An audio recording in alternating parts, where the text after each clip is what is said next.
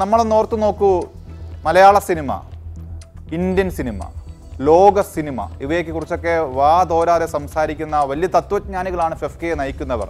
അവർക്ക് കഴിഞ്ഞ പത്ത് ദിവസമായി സ്വന്തം മേഖലയിലെ സ്ത്രീകൾ നേരിടുന്ന ലൈംഗിക ചൂഷണങ്ങളിലും തൊഴിൽ അനീതികളിലും ഉയരുന്ന ഗൗരവതരമായ വെളിപ്പെടുത്തലുകൾ ഇത്രയേറെ പഠനങ്ങൾക്കും ശാസ്ത്രീയ അവലോകനങ്ങളുടെയും സമയമെടുത്ത് പ്രതികരിക്കേണ്ട കാര്യമുണ്ടോ? ഒരു ചലച്ചിത്ര പ്രവർത്തക രംഗത്തെത്തി ഒരു വെളിപ്പെടുത്തൽ നടത്തി കഴിഞ്ഞാൽ ആ വെളിപ്പെടുത്തലുമായി പോലീസ് അന്വേഷണം വേണമെന്നും ഇതിൽ ഇരയ്ക്ക് നീതി കിട്ടണമെന്നും രണ്ട് വാക്ക് പറയുക എന്നുള്ളത് മാനുഷികമായ സാമൂഹികമായ ഒരു കടമ കൂടിയാണ് ഒരു സംഘടനയുടെ. അതുപോലും പറയാറ്. ഇപ്പോൾ ആ വാർത്താക്കുറിപ്പിലെ ഒരു വരിയാണ് ഇങ്ങനെയാണ്. അതായത് ഇതുമായി ബന്ധപ്പെട്ട് പ്രതികരിച്ചവരെ കൂടി അപമാനിക്കുന്ന രീതിയിലാണ് ഫെഫ്കയുടെ പ്രതികരണം.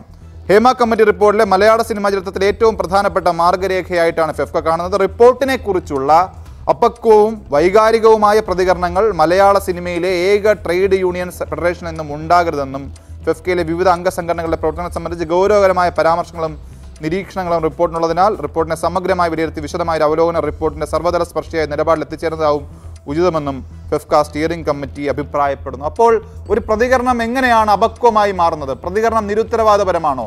ആ ഇരകൾക്ക് പിന്തുണ പ്രഖ്യാപിച്ച് രംഗത്തെത്തിയവരൊക്കെ പക്വമതികളല്ലേ? ഈ ചോദ്യങ്ങൾക്ക് കൂടി ഫെഫ്ക ഉത്തരം നൽകണം. എന്തായാലും ഇനിയും നിരവധി വിഷയങ്ങളിൽ ഈ വഴി ഫെഫ്ക വരുമല്ലോ.